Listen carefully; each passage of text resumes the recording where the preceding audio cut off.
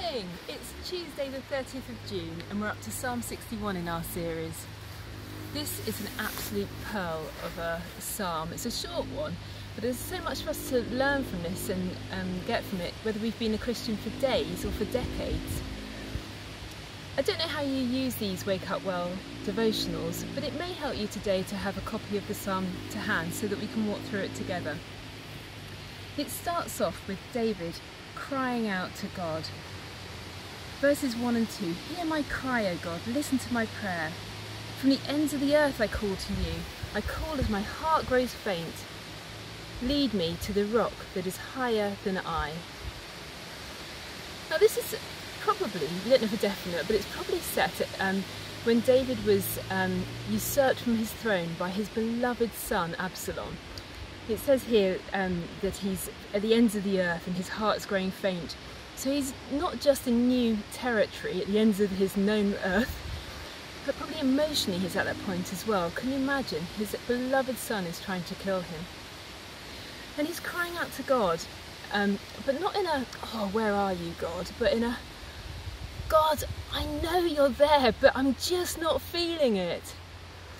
But this little psalm takes us from this desperate cry in just a few short verses to a point where he's able to praise God and ask for really confident prayer of God.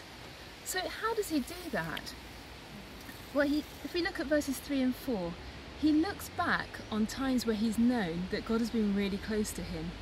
He's, when he's been his refuge, his strong tower against the enemy, when he's felt really safe and when he's felt really close to him. So what he's done is he's gone to the rock that's higher than he is, and that has changed his whole perspective. In a sense, nothing has changed for him. He's still at the ends of the earth, um, and his son is still on the throne. But in the other sense, in the spiritual sense, everything has changed. The worldly king is off his throne, but the sovereign king, praise God, he's still on his throne. And that's what David's remembering. From the top of a hill, you'll know this from when you go out walking, from the top of a hill, your perspective changes, your view changes, and it helps him to reframe the situation he finds himself in.